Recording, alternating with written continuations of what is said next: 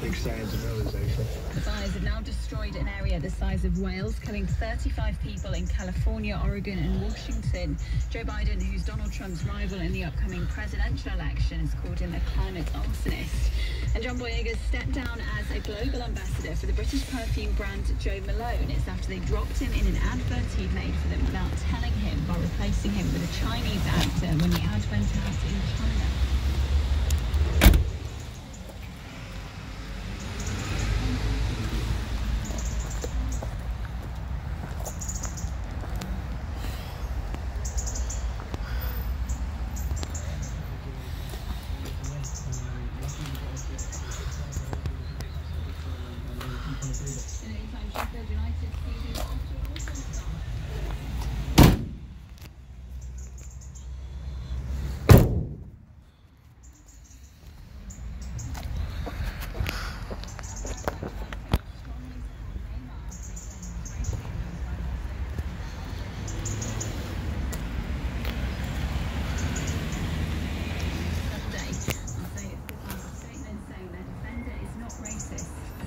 You had another hot one today. It's the odd shower in the southwest, cloudy with some rain in Scotland and Northern Ireland.